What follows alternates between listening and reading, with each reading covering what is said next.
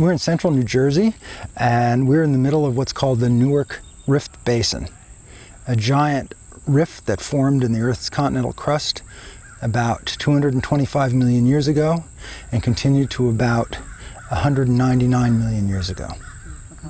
I came here to core the rock in the Newark Basin over the interval during which one of the largest mass extinctions of all time occurred at about 201.5 million years ago. I have a segment of rock core recovered from our operation here, which you can hear in the background, which is from an ancient lake bed, which because of the very even sediment accumulation records events in time very, very finely. And so this represents a few hundred years of Earth history at most and it has recorded changes in the lake environment due to climate change.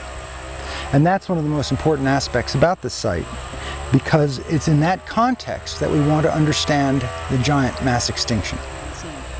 This extinction at 201.5 million years ago, uh, one of the largest in Earth history, was a time when dinosaurs had evolved. They had appeared on the Earth about 225 million years ago.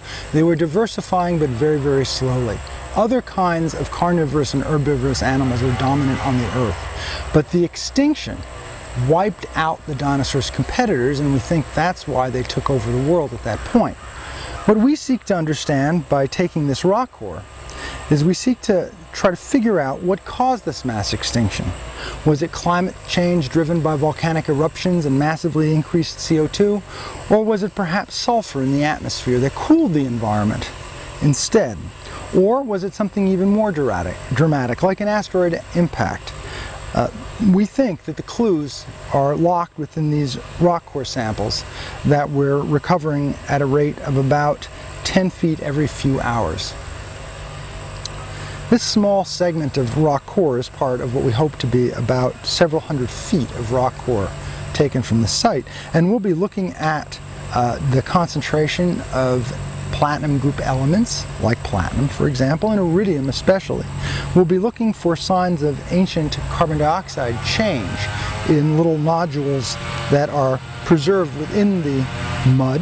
We'll be looking for pollen and spores, and we'll be looking for shifts in the Earth's magnetic field that tell us exactly when in Earth history we're getting these core samples from.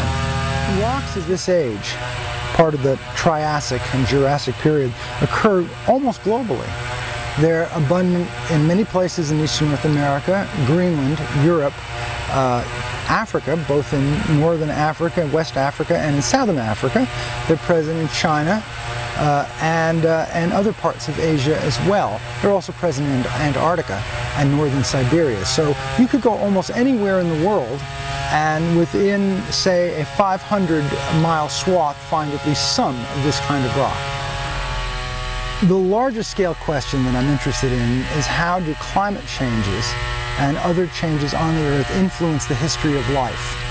Whether driven internally by changes in the dynamics between the Earth's mantle and the surface, or the core and the surface, or by external events such as asteroid impacts or climate change driven by changes in the Earth's orbit. Those are the kinds of larger scale pictures that I'm ultimately interested in.